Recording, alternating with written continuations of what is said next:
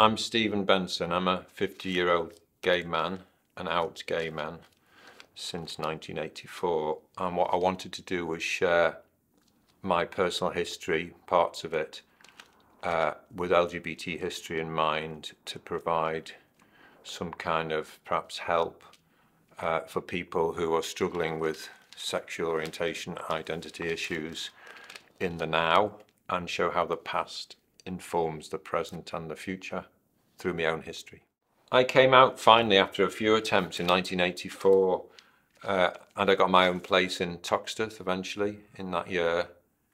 Uh, th this is a story briefly of how I got by and how I became a whole person, of which being an openly gay man is a very large part of that, through uh, social support groups, friendships I found in those support groups, all in the era of uh, lack of AIDS awareness and the build up to the clause 28, section 28 law, which came in in the late 80s, four years later.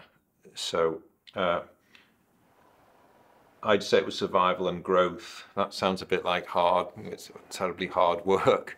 Uh, it wasn't really. I, to be honest, didn't notice a lot what, what, what was going on politically but there was a greater sense than now, a sense I'm trying to build up again in the present of LGBT.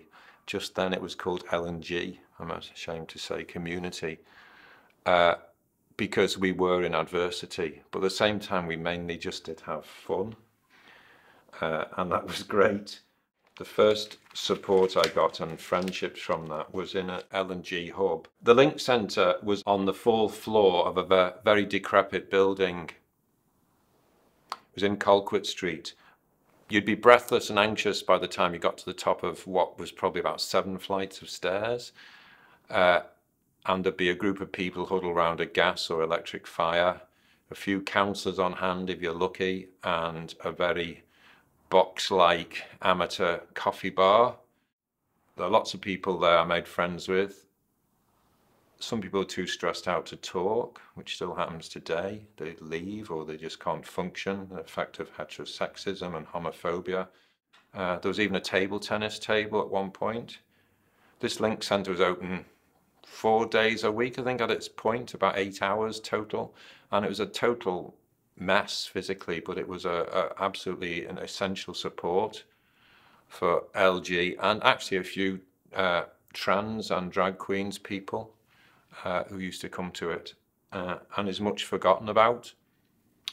Uh, and again, it, it, formed probably the most inspiration, though some of that subconscious, for what I do now.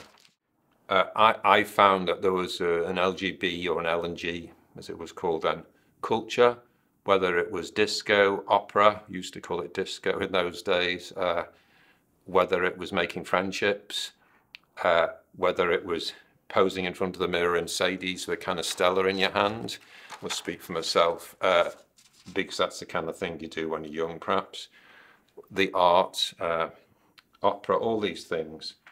All the venues too, like Sadie's, Jodie's, the Lisbon, still there, about the only one that still is. Paco's, if you wanted a rent boy. All this was still there. But there were these groups which are a really helpful adjunct and support to the scene. There are two other social groups, and it's a bit hazy now, like it is when you look back. There was something called Merseyside Gay Men. And again, there were more groups of men than women or trans or bi people. Uh, but but it met in the original Sahir House, which I'm sure other people remember, which is in Rodney Street.